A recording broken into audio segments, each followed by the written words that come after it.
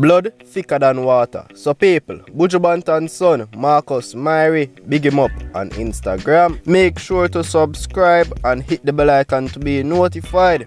Anyway, now wanna see the reason why I'm say me not do business about Buju Banton and him son family matter. Now wanna see the reason why I say that, don't it? So after Marcus Myrie post and say, yo, him not like him father and him father for dead and rotten in a prison. After Marcus Myrie said that Marcus Myrie come out and big up him father. After Buju Banton long walk to freedom concert, Marcus Myrie come out and finally big up him father. Oh, and this is the pic that Buju Banton's son Marcus Myrie post on him Instagram story. And everybody and their mother happy right now. Say this go on. Everybody happy say Buju Banton and him son finally alright. Okay. Them finally fix things. Me did a hope for this. Because the way how Buju Banton's son did a angle and a deal with him and a diss him up wicked. The way how Buju Banton's son did a deal with him father. Me da hope for this. Me da pray say yo, hope everything go good. And yeah, them fix everything. Them talk over everything it look like and everything good again. Buju Banton and him son sit down and all a father and son reason. You know them type of reason there.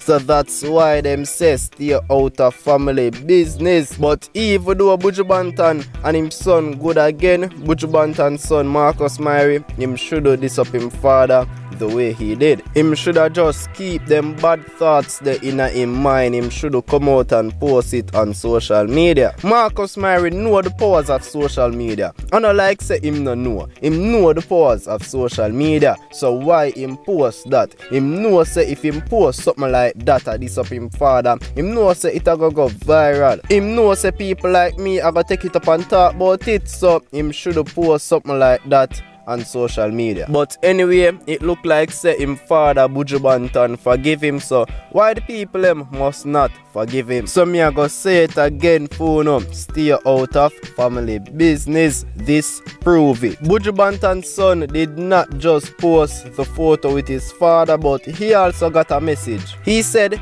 this not everything that is fierce can be changed, but nothing can be changed until it's fierce. I am a man the one who refused to carry the burden of the past into the future that will see me with children. For their sake, I will break the generational curse. My only regret is that I allowed myself to get so blinded by anger that I said things about my father and to the public that I shouldn't have said. But let he without sin cast the fire stone. I have no hatred in my heart for my father. My only disappointment is the undelivered expectation of a father who refused to see fatherhood as more than just a title and financial support. Your absence has nothing to do with prison and you know that. Still, I forgive you regardless. I hope one day you will decide to be a better father. Don't do it for me, do it for my siblings who are suffering emotionally. When you love someone, you tell them the truth regardless of repercussion. For example, this ridiculous altercation.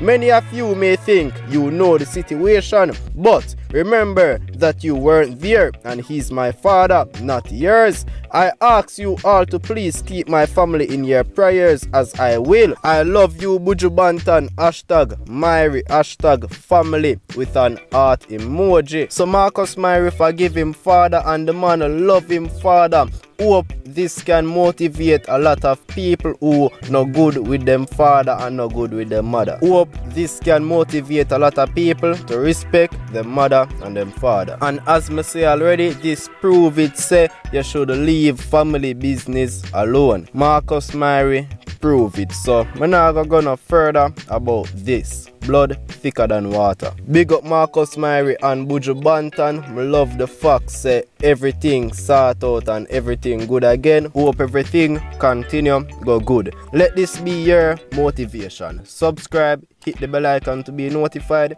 You know the routine. I'm out.